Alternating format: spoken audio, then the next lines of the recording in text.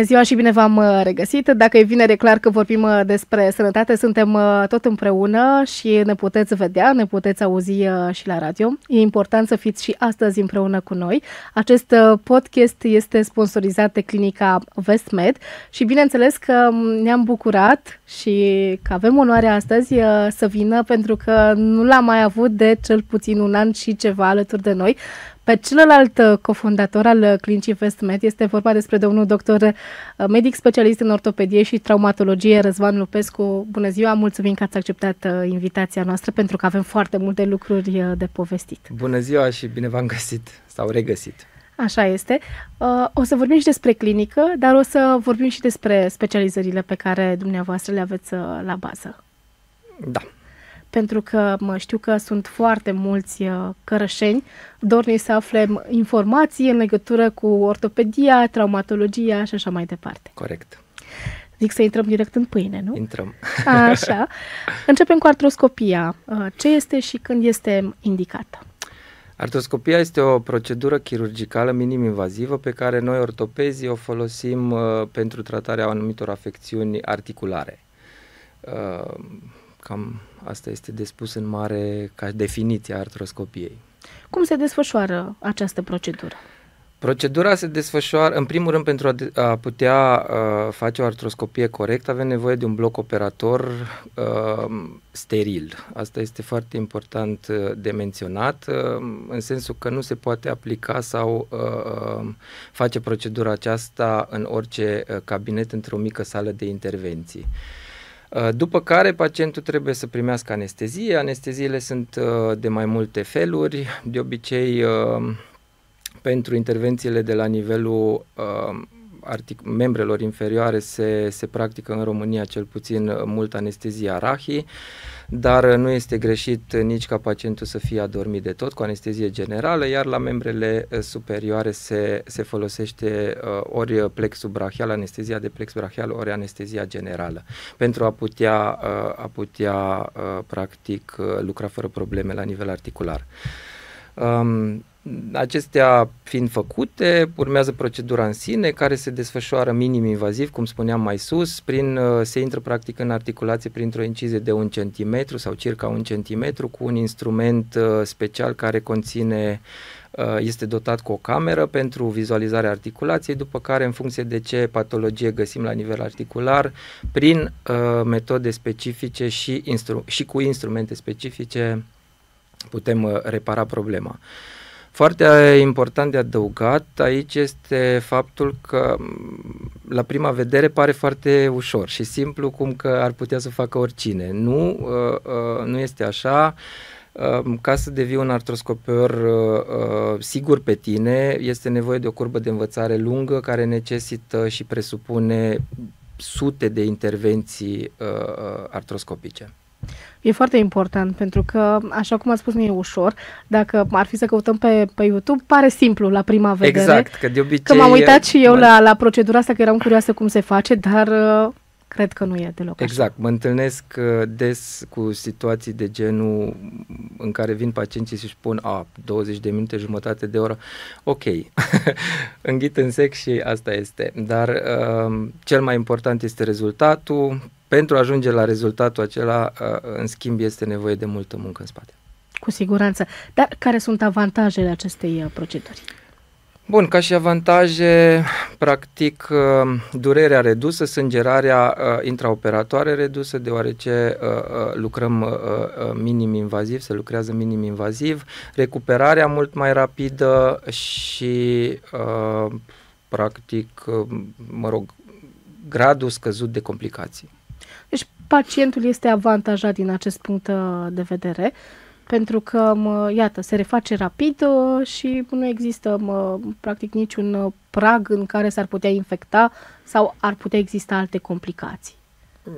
Că nu există e mult spus. Um, orice, uh, înainte de orice intervenție trebuie să-ți asumi și niște riscuri, uh, semnând un consimțământ unde sunt explicate uh, acestea ca atare, printre care există și riscul acesta de infecție, chiar dacă se operează în mediu, în, în mediu steril. Um, de asta eu țin foarte mult la sterilitate și pun foarte mare accent atât la noi în clinică cât și acolo unde uh, desfășor activitatea operatorie, uh, pentru că pacienții ortopedici trebuie văzuți un pic altfel. Uh, afecțiunile ortopedice nu sunt urgențe medicale sau foarte puține uh, afecțiuni ortopedice uh, sunt, uh, reprezintă o urgență medicală. Adică o leziune de menisc nu este un apendic perforat care dacă nu-l operăm în șase ore decedează pacientul, ci se face planificat electiv. Uh, astea fiind spuse, atunci noi ca și uh, uh, operatori, dar și uh, spitalul în care ne desfășurăm activitatea, trebuie să punem uh, uh, la dispoziție pacientului toate condițiile de sterilitate pentru a reduce riscul ăsta cât mai la minim. Oricum sunteți adevărați uh, profesioniști, iar uh, asta cu siguranță au constatat uh, și cei care v-au trecut pragul clinicii Investment, pentru că începând de la curățenie și până la mediul de lucru foarte steril, chiar sunteți foarte tipicari și putem să-i asigurăm pe cei care ne privesc și ne ascultă că lucrurile sunt extraordinare acolo din acest punct da, de vedere. Aici, Țineți foarte mult aici asta, eu observat. personal da. țin foarte mult la treaba asta și cu siguranță nu se schimbe chiar dacă evoluția noastră este dacă am crescut ca și clinică. Deci, nu o să ne schimbăm criteriile de, de exigență, să zic așa. Apelați cu încredere că sunteți în siguranță.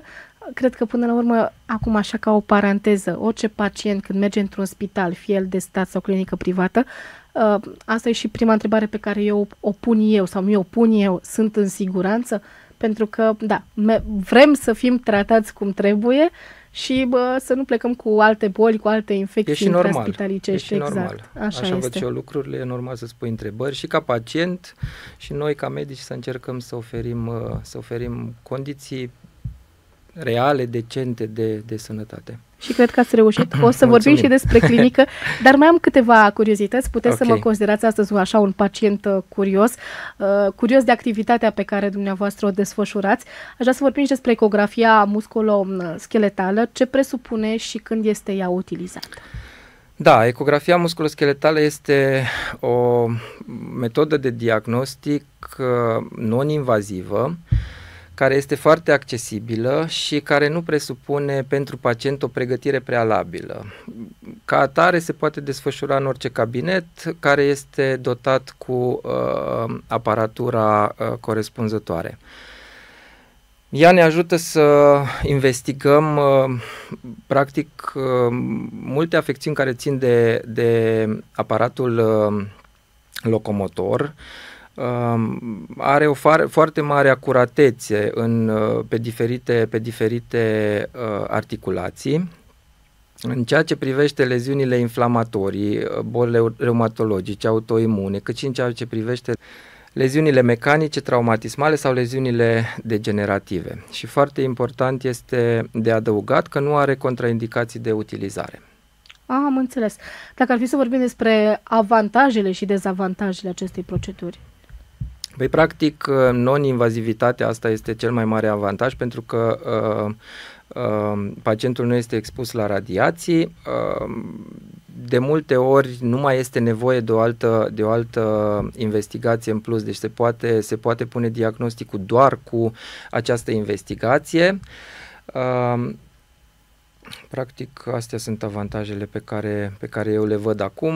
Pe lângă cele uh, procedurale, ajutând la puncții, de exemplu, sau la uh, infiltrații, uh, acestea putându-se face ghidat sub uh, control ecografic, ajungând exact la locul unde ne dorim.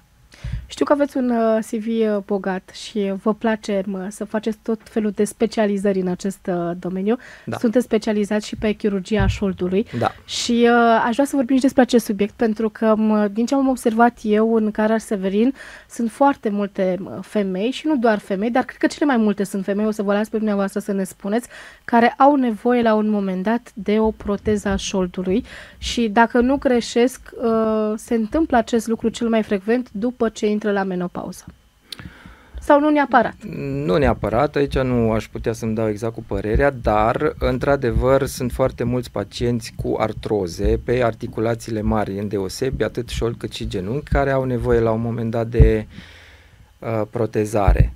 Uh, Ca un exemplu, în Germania, la ora actuală, se pun undeva, uh, se implantează undeva la 400 de mii de proteze pe an, genunchi și șold, ceea ce este uh, foarte mult și nu cred că uh, patologia este diferită uh, la noi, atât că, doar, atât că n-am acum să uh, Uh, niște date specifice să vă dau o statistică, cum și ce se întâmplă în România, dar în orice caz nu se întâmplă ca și acolo, la, cel, la același nivel, uh, deci pacientură este, într-adevăr, uh, lumea este afectată de artroză de la o anumită vârstă, dar sunt și uh, uh, artroze precoce, determinate de diferite alte afecțiuni sau traumatisme și atunci singura soluție rămâne protezarea pentru ca pacientul să scape total de, de dureri.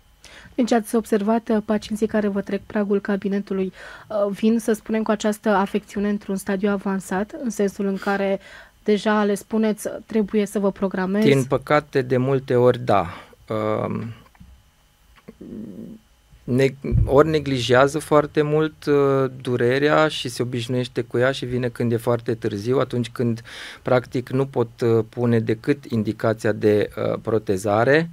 Um, mă izbesc și de refuzul pacientului din cauza că nu este foarte bine educat în ceea ce privește uh, în ceea ce privește ce înseamnă cu adevărat o protezare. Protezarea, să ne înțelegem acum uh, în ziua de astăzi este o uh, procedură medicală care se face de, ruci, de rutină în centre specializate, fără a mai implica atât de multe riscuri ca și acum uh, uh, 15-20 de ani. Uh, iar rezultatele sunt foarte bune. Dar mă repet, asta nu înseamnă că uh, uh, pacientul nu trebuie să-și asume chiar și așa anumite, anumite riscuri. Adică există posibilitatea să iasă și ceva uh, mă rog, mai puțin bine să, să, să mă exprim așa. Ne puteți explica această intervenție chirurgicală, dacă este o intervenție grea, cum se procedează, așa pe, pe înțelesul uh, tuturor, pentru că probabil mulți se și sperie, că e vorba de șold, practic ne susține partea de sus, da, a da. corpului, dar și picioarele, exact, exact. e cumva la mijloc, nu? exact, exact, n-aș dori să vă, să vă uh, redau uh, cum se desfășoară procedura aceasta, pentru că, din punct de vedere tehnic, chiar dacă tehnicile uh, operatorii au avansat foarte mult în ultimul timp. Din punct de vedere tehnic, este o uh, manevră destul de brutală uh, în sala de operație pentru noi. Pacientul doarme, nu simte nimic sau este, uh, sau este anesteziat, nu vede de câmp operator. Dar, mă rog, așa și ca o mică paranteză. Da. Uh, dar, da, și aici avem nevoie, sau aici mai mult ca oricând, avem nevoie de, de un mediu foarte steril, pentru că sensibilitatea la infecții uh, a articulației unde se introduce un uh, corp străin este mult mai ridicată decât uh, la celelalte proceduri ortopedice, cum ar fi artroscopia, de exemplu. Adică sensibilitatea asta la infecție e mult mai crescută la, la tipul ăsta de, de intervenții.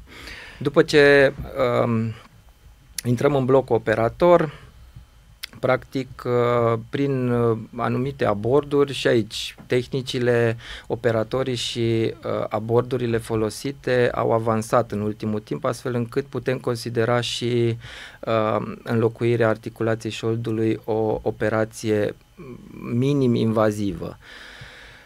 ceea ce ne sau ceea ce oferă pacientului mai târziu o recuperare mult mai precoce.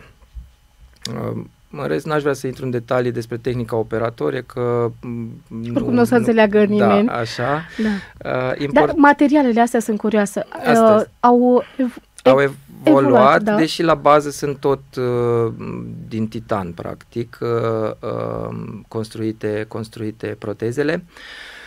Clar, acum se folosesc printări 3D, se fac la altă scală, se pot face și Uh, pers- uh, proteze personalizate, uh, sunt anumite ghiduri, există roboți care ne ajută pe, să implantăm protezele, deși eu nu, nu sunt încă cel mai mare fan al lor, dar um, da, a evoluat toat, atât tehnica operatorie cât și materialele din care sunt, sunt făcute protezele.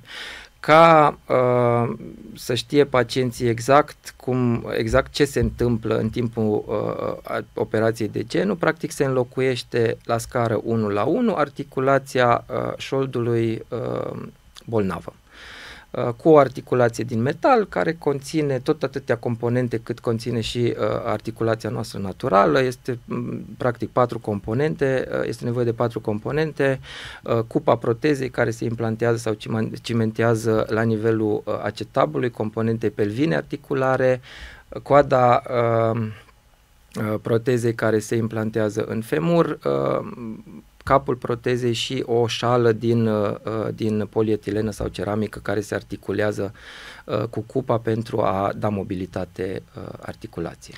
Mi se pare foarte complicat ceea ce faceți, vă spun sincer, și cred că aveți toată admirația noastră și a celor care până la urmă au avut nevoie de o astfel de mă, proteză. Nu e ușor și aș vrea să știu cam în cât timp se recuperează o astfel de persoană. Da. O Operația în sine este, sună, sună cum că ar fi o operație foarte mare, ceea ce practic și este, doar că uh, timpii operatori, din cauza metodelor uh, folosite la ora actuală, au scăzut. La ora actuală, o operație, o protezare uh, de șold făcută de către un operator care face asta de rutină, durează în jurul uh, a 60 de minute până la 90 de minute, ceea ce Uh, pentru că de multe ori pacienții se sperie, uai, trebuie să schimb articulația șoldului, o să stau uh, 9 ore în operație și așa mai departe. Sunt tot felul de informații care ajung la ei greșit și atunci uh, mai duc, nu știu, ani de zile uh, durerile pe picioare fără a lua în considerare uh, tipul ăsta de uh, operație.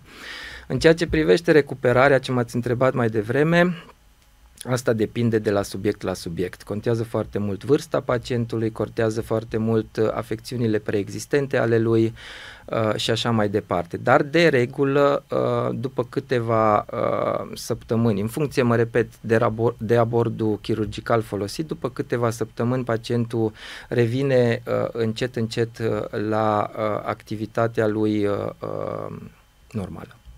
Putem vorbi uh, de prevenție în uh, specializarea dumneavoastră și dacă da, ce sfaturi uh, ne-ați dat nouă pacienților ca să nu mai ajungem așa cu problemele acestea ce țin de oase, de articulații la medic și poate reușim cumva uh, să imobilizăm pe cei care ne ascultă, care poate deja au dureri, să vină măcar la un control la dumneavoastră la clinică, pentru că e important să nu stea, să nu, afecțiunea să nu uh, afecteze și mai mult, nu știu, uh, să se extindă.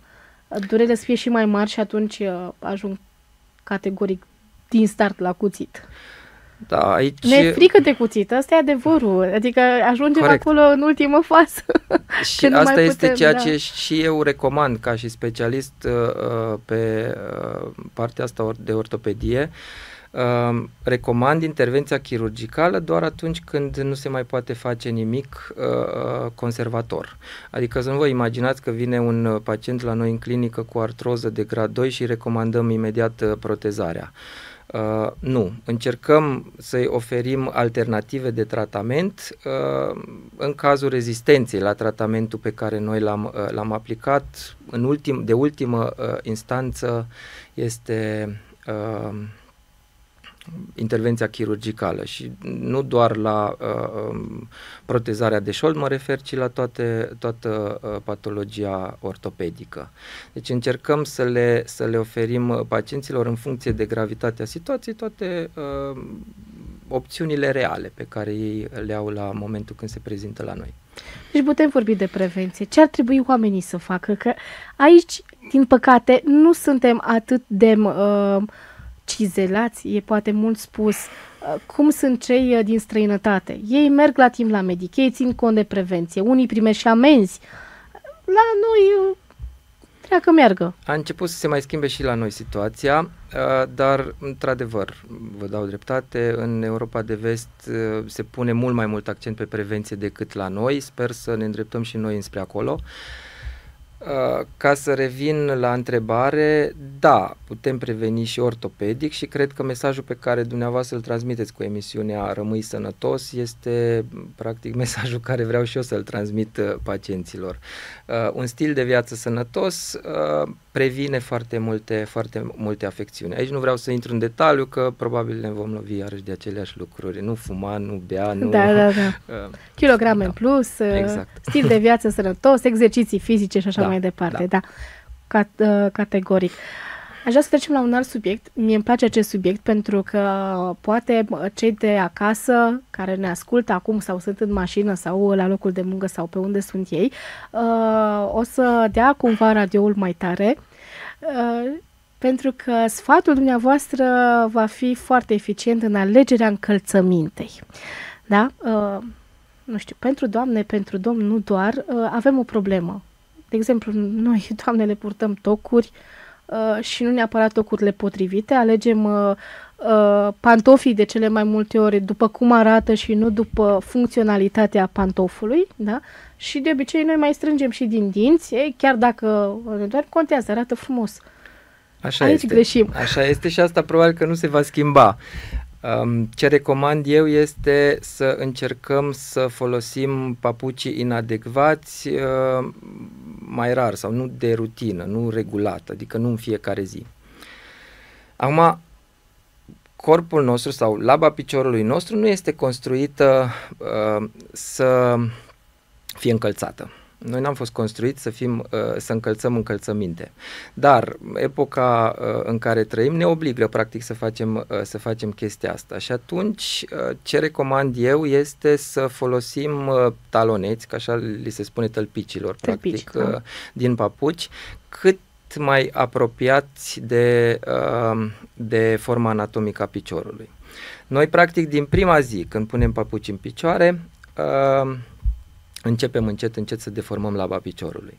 Și de asta este foarte important, important să uh, începem sau să nu purtăm încălțăminte inadecvată, cum sunt tocurile înalte, cum sunt uh, tot felul de, de, de papuci care au apărut acum pe Sunt foarte înguști sau lungi sau Da, mărimea iarăși trebuie alesă cum, cum trebuie. Dacă stăm cu degetele uh, ore în șir uh, adunate, apar deformări care în timp uh, necesită tratament. Uh, Uh, cam asta este ce pot eu să vă să, să recomand. Mai există și termenii de uh, papuci anatomici și papuci ortopedici. Atunci când ajungem să folosim papuci ortopedici, înseamnă că este o problemă, pentru că tălpicii ortopedici sunt tălpici care sunt corectați sau care corectează anumite patologii de la nivelul labei piciorului. Domnul doctor, uh, tocurile purtate în exces de femei, adevărat sau e mit că ne poate influența într-un mod negativ coloana? Mai, de, mai bine spus, ne deformează. Da, e adevărat și pot să vă uh, explic și de ce. Purtatul tocurilor înalte uh, de către o femeie sau atunci când poartă tocuri înalte o femeie, partea din uh, de sus a corpului este un pic înclinată spre înainte. Și astfel modifică, modifică axul, uh, axul corporal, uh, iar musculatura paravertebrală care susține coloana vertebrală tensionează mai mult decât trebuie partea lombară a ei. Uh, și astfel se, în timp, acum să nu ne înțelegem greșit, dacă purtați la o nuntă uh, uh sau la un eveniment fericit, nu e nicio problemă. Nu e nicio problemă. Dacă purtați în fiecare zi la lucru, atunci s-ar putea să fie o problemă. În timp, modifică, se modifică lordoza lombară și pot pot apărea tot felul de uh, afecțiuni, ori la nivelul discurilor intervertebrale, uh, ori uh, degenerative, artroze și așa mai departe. Nu ne dorim asta, deși mai sunt femei care spun, domnule, eu m-am născut în tocuri, adică mie îmi stă piciorul așa, nu îmi stă altfel. mai erau uh, tot felul de uh, discuții pe această temă. Aș vrea să trecem la un lucru și mai serios, să vorbim puțin și despre clinica la care dumneavoastră sunteți cofondator. Pentru că noi ce am observat uh, din afară, că v-ați mărit echipa, că ați reușit să aduceți uh, adevărați profesioniști în județul nostru, pe anumite specializări pe care până acum nu le găseam și eram nevoit să facem naveta la Timișoara. Ei bine, acum le avem la noi acasă, avem medicii pe care căutau la Timișoara la noi acasă. Și uh, aș vrea să, să ne spuneți cum de ați reușit să, să măriți atât de mult echipa. Evoluția, clar, se vede. Da, mulțumesc frumos pentru aprecieri. Aprecierile și feedback-ul sunt uh, bune din toate punctele de vedere, atât din partea medicilor cât și din partea pacienților care ne-au călcat până acum uh, pragul clinicii. Asta a fost și ideea, să, să aducem în, să oferim o alternativă reșițenilor uh, din punct de vedere al, al serviciilor uh, medicale. Avem doi ani de când uh, am deschis, suntem pe drumul cel bun, zic eu, Într-adevăr, acoperim la ora actuală aproape toate specialitățile care uh, se pot, uh, care își pot desfășura activitatea într-un uh, ambulator cu medici atât de la Reșița cât și din uh, Timișoara. Într-adevăr, majoritatea este din, uh, din Timișoara, dar uh, colaborăm foarte bine cu colegi din Reșița și uh, nu excludem niciodată uh, o, o colaborare de genul. Adică suntem foarte deschiși din punctul ăsta de vedere pentru că uh, nu asta este neapărat uh, ceea ce contează foarte mult, ci serviciile pe care le oferim uh, uh, pacienților din zonă și nu numai, pentru că să știți, uh, avem pacienți, uh, chiar am depășit și granițele județului nostru, adică avem pacienți care ne, ne caută din Mehedinți, uh, chiar și Dolj am avut, Super. Hunedoara foarte, foarte des și așa mai departe. Clar, ține și de medicul care, care prestează serviciu, numele lui, dar uh, mulți uh, au, fac referire și la clinica și serviciile uh, de tehnologie și spațiu spațiu pe care noi îl oferim. Am văzut că și uh, medici renumiți în județul nostru, uh, unii reșițeni sau caransebeșeni, au intrat în echipa dumneavoastră, pe care noi deja îi cunoaștem din uh, spitalele publice și e un lucru extraordinar că da, acum și le îi pot găsi la foarte mult că sunt deschiși la, la colaborare. Noi încercăm să le oferim și așteptăm și pe alții. Deci lista rămâne deschisă, lista nu vă opriți rămâne, aici, nu? Nu ne oprim aici, sub nicio Ne formă. bucurăm. Câți pacienți au trecut uh, pragul clinicii până acum? Dacă ați spus deja pe foaie, știu că la un moment dat uh, mi-ați și spus uh, o cifră. Da, peste 25.000 de pacienți wow. în 2 ani de zile. Acum, dacă este o cifră uh, mare sau nu, vă las pe dumneavoastră să apreciați. Eu zic că e o cifră mare. Și eu zic că am crescut uh, uh, și suntem acolo unde ar trebui să fim după 2 ani de activitate. Foarte tare. Și eu sper să continuați în același uh, trend, să spunem, în același uh, ritm, pentru că uh, ne-am obișnuit să mergem la profesioniști, ne-am obișnuit să fim tratați în condiții moderne, cu aparatură de ultimă generație. Slavă Domnului, aveți așa ceva la clinică. Așa e. Așa e, mulțumim. Uh, ne dăm silința să progresăm în continuare, avem și planuri, să zic așa. Uh, la ora actuală vrem să retehnologizăm anumite, uh, anumite specializări și să oferim o gamă mai largă, uh, mai largă de servicii. uh, investind în, uh, în aparatură. Um, aparatura se învechește uh, de obicei, uh, sau mă rog, e ca la mașini, în fiecare an apare câte un, uh, câte un update sau odată la, uh, uh, la un anumit timp apare câte un update și vrem să rămânem și noi updatați la, uh, la uh, ce se întâmplă la ora actuală. Puteți da așa puțin uh, din casă? Ce echipamente vă mai doriți în uh, clinică, da, dacă ne... ar fi să vorbim de obiective? Da, aș putea să vă spun. Primordial este o linie de gastrocolonoscopie uh, nouă pentru că este nevoie și, și în Reșița nici nu se prea, se prea face foarte mult în ambulator. Uh, și avem uh, medici dornici de uh, să practice procedurile astea la noi în clinică și atunci vrem să le oferim, uh, să le oferim de ce au nevoie. Mi se pare un lucru extraordinar pentru că nu e o procedură nici ușoară uh, pentru pacient, mă rog, la prima vedere, că el oricum nu știe, dar că se trezește, da, uh, o să, nu o să simtă nimic, e Așa clar. Este. Dar uh, uh, na, am mai vorbit cu medici gastroenterologi la dumneavoastră de la clinică, ne-au povestit așa cum se face și uh, cu siguranță um, această um, tehnică este necesară în județul uh, nostru. Acestea fiind spuse, iată că am ajuns la finalul podcastului uh, de astăzi, dar nu vă las să plecați până nu le transmite celor care ne privesc și ne ascultă un mesaj la finalul emisiunii. Să transmit un mesaj ortopedic sau un mesaj cum în doriți. general? Mesajul ortopedic, cum spuneam, este cel uh, titlul, titlul emisiunii dumneavoastră, Rămâi sănătos. Uh, încercați să preveniți uh, orice afecțiune, nu doar uh, pe cele ortopedice. Uh, iar în ceea ce privește serviciile pe care noi vi le punem la dispoziție, uh, ne străduim să progresăm și uh, vă așteptăm în cazul în care este nevoie cu drag în clinica noastră și cu specialiști buni și foarte buni. Așadar, pe domnul doctor Răzvan Lupescu îl găsiți la clinica Vesmed, apelați cu încredere, pentru că această clinică a venit ca un aer proaspăt în județul nostru și cu siguranță vă stă la dispoziție cu absolut uh, toate specializările de care aveți nevoie în funcție de afecțiunile de care suferiți. Uh, eu sunt Diana Roșca, vă mulțumesc încă o dată pentru atenție. Încă o dată vă spun că acest podcast a fost uh, sponsorizat de Vesmed. Uh, nu uitați, până data viitoare, rămâneți sănătoși, cu bine!